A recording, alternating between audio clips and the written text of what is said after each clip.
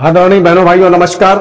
मैं पंडित दिनेश नारायण पांडे, आध्यात्मिक वेदांग ज्योतिष के ग्रहवाणी यूट्यूब चैनल पर आपका हार्दिक अभिनंदन करता हूँ, आपका स्वागत करता हूँ। एक बार प्रेम से बोलिए, जय माता की। बहनों, भाइयों, इस महीने की जो ग्रह गोचर की स्थिति है, राहु केतु के मध्य में सारे ग्रह हैं। राहु केतु के बीच में जब सारे ग्रह हो जाते हैं तो एक बंधन योग बन जाता है। काल सर्प योग भी उसको आप कहते हैं। तो ये बंधन कहीं ना कहीं आपको बंधन में डाले रखता है। चाहे वो व्यापारिक क्षेत्र हो, चाहे पारिवारिक क्षेत्र हो, चाहे सामाजिक क्षेत्र हो। चलिए बहनों भाइयों, बताता हूँ कन्या राशि के बारे में।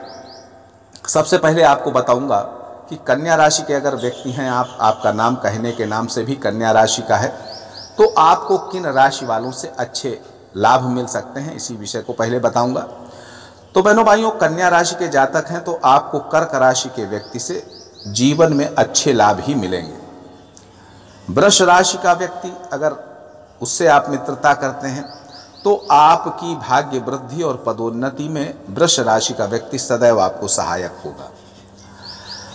मीन राशि का व्यक्ति, आपका अच्छा पार्टनर हो सकता है अच्छा साझीदार हो सकता है, लेकिन पारदर्शिता और दोनों के बीच में मान सम्मान की भावना ज़रूर रहनी चाहिए।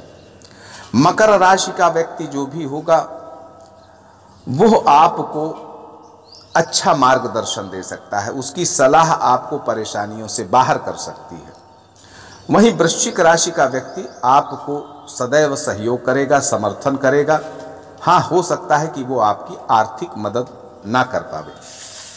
तो बहनों, भाइयों, सबसे पहले अब बात करता हूँ आपके लग्नेश की। कन्या राशि में लग्नेश होता है बुध। और कर्मेश भी होता है तो सबसे पहले लग्नेश और कर्मेश बुध की बात करें तो इस माह बुध का तीन राशियों में परिवर्तन होगा। नौ मई तक यह नौ अष्टम भाव में गोचर करेगा। अब जब अष्टम भाव में गोचर करेगा तो शारीरिक सुख में कमी आएगी, मानसिक अशांति, वाणी में हो सकता है कि असत्यता हो, वाणी आपकी गलत हो सकती है, भोजन में अरुचि हो सकती है, लेकिन परिस्थितियाँ आपके अंदर अच्छा बौद्धिक विकास कर देंगी। पुत्र सुख, धन, लाभ आपका ठीक रहेगा। 9 मई से 25 मई के बीच की जो बुध की स्थिति है नवम भाव में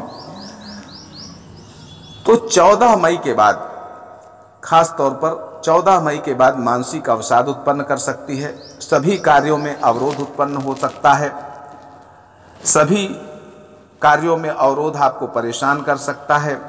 अन्य लोगों से उत्पीड़न प्राप्त होना संभव हो सकता है और इससे आपको कष्ट का अनुभव होगा। वित्त विकार और गलत खान पान आपको पीड़ा दे सकता है। इस अवधि में माता दुर्गा जी का पूजन और दुर्गा चालीसा का पाठ करना आपके लिए लाभदायक रहेगा।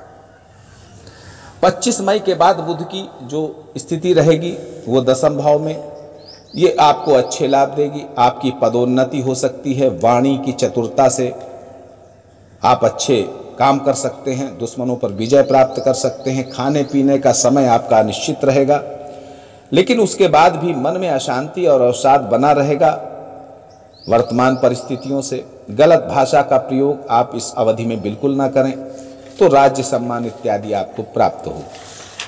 अब वहीं सुखेश और सप्तमेश गुरु की बात करें तो सुखेश और सप्तमेश गुरु की पंचम भाव में स्थिति ठीक नहीं रहेगी, संतान को कष्ट हो सकता है, परेशानियाँ बनी रह सकती हैं। इसके बावजूद भाग्य के सहयोग से आपको धन लाभ होगा, व्यापार में एक बंधन का आभास होगा, कार्यों में बेवजह की बाधाएँ आपका रास्ता रोकेंगी।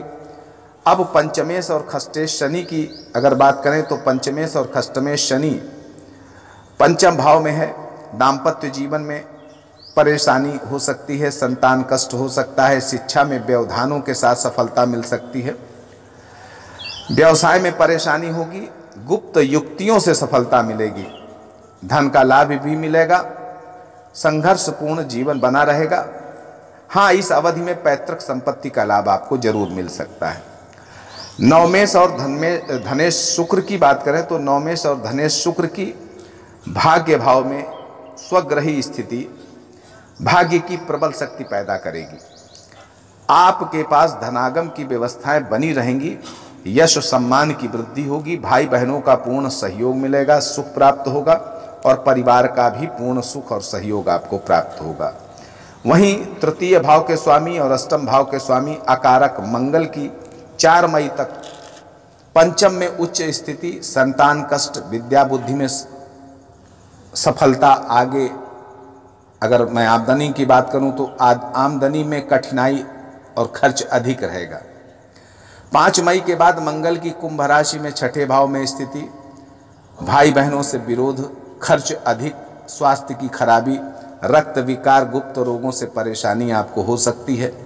परंतु शत्रु पर विजय प्राप्त होगी और इस अवधि में आपको हनुमान चालीसा, हनुमानाष्टक का पाठ करना चाहिए। हनुमान जी का को प्रसाद चढ़ावें प्रति मंगलवार को।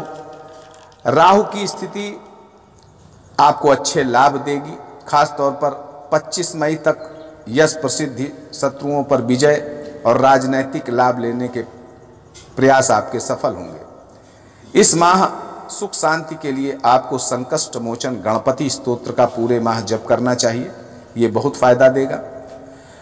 इस महीने की कुछ तारीखें ठीक नहीं है, वो मैं बता दूँ कि दो, तीन, आठ, नौ तेरह, चौदह, सोलह, बीस, इक्कीस, पच्चीस और छब्बीस। ये तारीखें आपके लिए अच्छी नहीं है तो इस, इन तारीखों पे थोड़ा सावधान रहें, सतर्क रहें।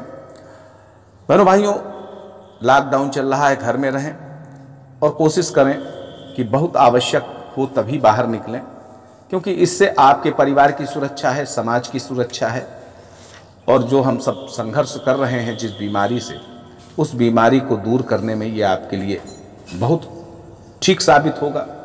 आप सुखी रहें, समृद्ध रहें, इसी मंगलमयी कामना के साथ मैं पुनः आपसे विदा लेता हूँ। एक बार प्रेम से बोलिए, जय माता की।